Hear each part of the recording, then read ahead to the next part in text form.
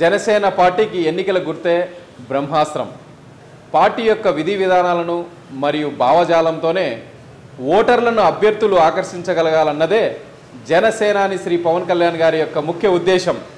అభ్యర్థుల యొక్క వ్యక్తిగత చరిస్మా కంటే పార్టీ యొక్క విధి విధానాలను ఆకర్షించి ఓటర్లు వచ్చి ఓటు వేయాలని పవన్ కళ్యాణ్ గారి యొక్క ముఖ్య ఉద్దేశం.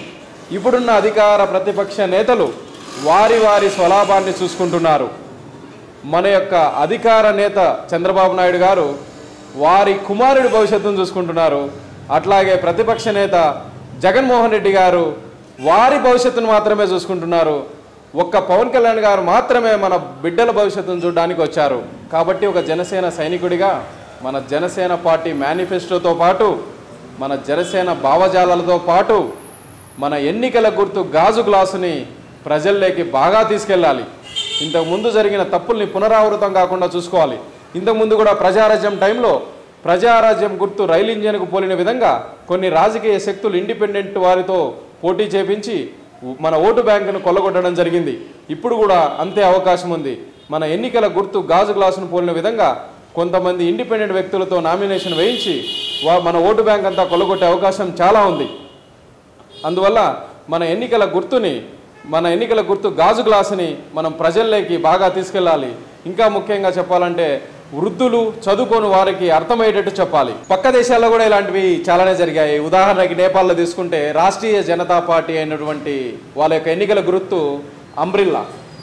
అదేవిధంగా జనశక్తి పార్టీ యొక్క గుర్తు కూడా అంబ్రిల్లాను పోలి ఉంటుంది కాకపోతే సర్కిల్లో ఉంటుంది. అలా ఓటర్లు చాలా కన్ఫ్యూజన్కి లోన్ కావడం జరిగింది.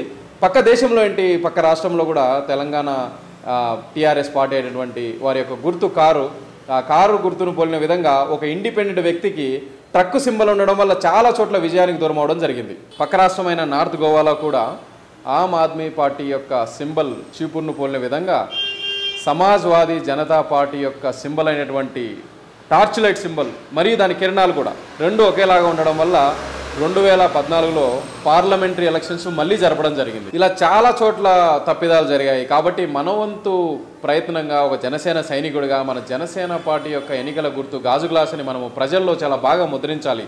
ప్రతి ఇంటి డోర్ మీద మనం స్టిక్కర్ వేయాలి. అదేవిధంగా ఆటోల పైన కూల్ డ్రింక్ షాపుల దగ్గర బైకుల పైన చివరికి సైకిళ్ళ పైన కూడా మనం స్టిక్కర్లు వేయాలి. ఎక్కడ చూసినా కూడా మన జనసేన పార్టీ యొక్క సింబల్ ప్రజలకి కనబడుతూనే ఉండాలి. మన ప్రయాణం జనసేనలో ఎక్కడ వేసిన గొంగలి అక్కడే అన్నట్టు ఉండకూడదు. పార్టీని బాగా ముందుకు పరిగెట్టించాలి.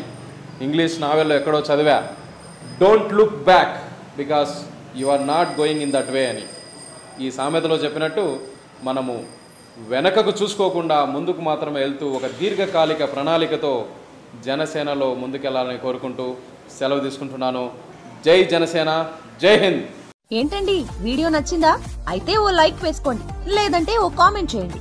ఎప్పటికప్పుడు మా వీడియోస్ చూడాలంటే సబ్స్క్రైబ్ చేసుకోండి.